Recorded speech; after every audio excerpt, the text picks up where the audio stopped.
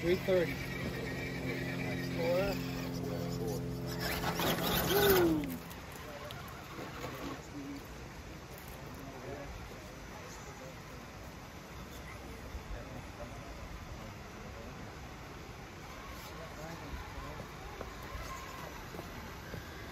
Send it.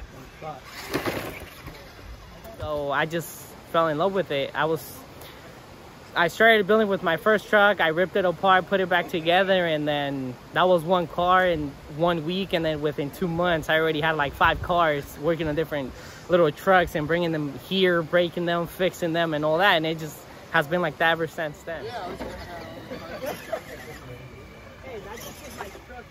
There you go. This 345. Oh yeah, honestly, yeah, I've never. I've changed this around a couple times before I even came out here. Okay.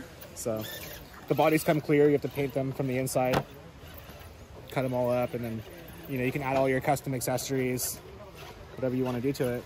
My buddy, I used to be into like little fast cars, and he was like, "Oh man, check out rock crawling." I'm like, "Those things are stupid. They're slow." You know, he's like, "No, just go out with me." And I did, and I was hooked. And I think just like the atmosphere was fun, just hanging out with everybody, and yeah, it was just it was pretty cool. Wonders right there. I know.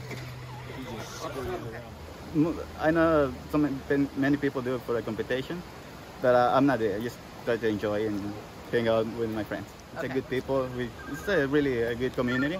Okay.